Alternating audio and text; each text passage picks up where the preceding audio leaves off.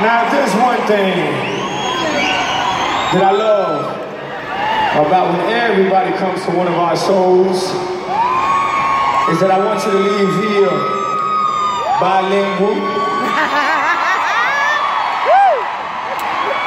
And if you speak English and Spanish, I want you to leave here trilingual. Because it's always better when you can use your tongue in more ways than one, if you know what I'm talking about.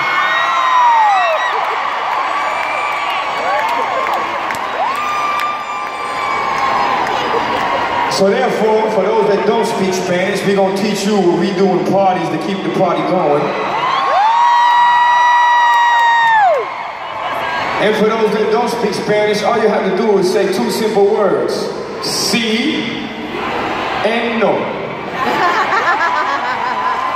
I'm gonna fucking give you an example right quick. And it says, Seguimos, sí, paramos. No. Seguimos, sí, paramos. No. Seguimos, sí, paramos. No. Seguimos.